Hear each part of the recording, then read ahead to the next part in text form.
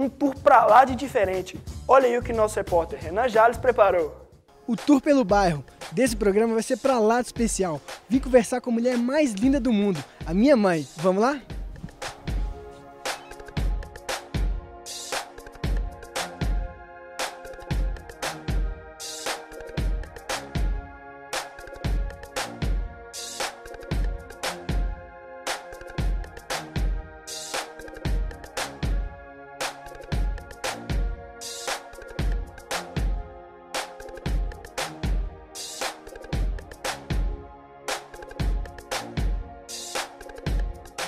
E depois de tomar aquele cafezinho da mamãe, é hora de saber do bairro Buritis. Mãe, por que, que você decidiu morar aqui?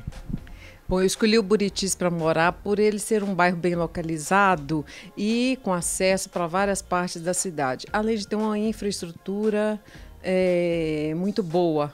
Né? É um bairro completo.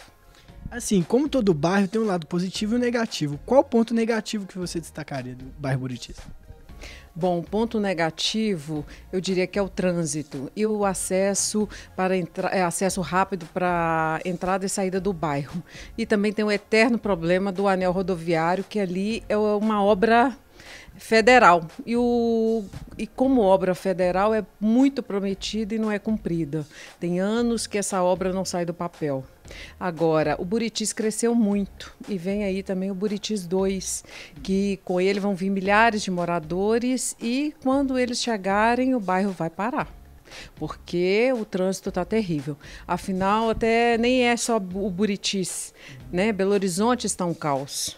Se você andar pela cidade, você sabe que os estacionamentos estão lotados, não tem estacionamento de rua e todo dia são muitos e muitos carros emplacados e as ruas continuam as mesmas. Então é um problema não só do Buritis, mas de Belo Horizonte. Com certeza. E agora pro lado que todo mundo gosta, lá do entretenimento, do lazer, qual é o ponto positivo que você destacaria do bairro? Bom, o bairro, assim, ele tem bares, restaurantes, cinema, shopping e tem também o segundo maior parque de Belo Horizonte, que é o Parque é, Ageopio Sobrinho, que leva o nome do ex-proprietário dessa, dessa área toda aqui do Buritis.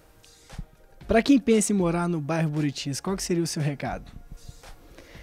Olha, o bairro tem muito a oferecer, é um bairro completo, de gente jovem. Eu diria que pode vir, vai gostar. Uma última pergunta.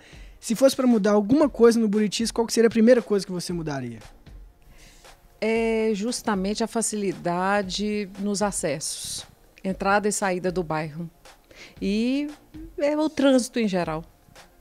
Muito obrigado, mamãe. E já que ela cantou a pedra, nada melhor do que ir até um dos lugares que ela mais frequenta na região.